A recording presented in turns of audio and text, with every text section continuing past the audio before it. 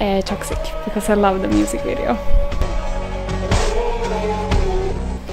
I don't want to be lonely.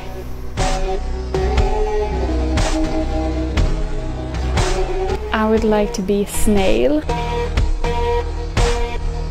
Uh, right now I'm in the middle of a major breakup, so it would be the ex-boyfriend.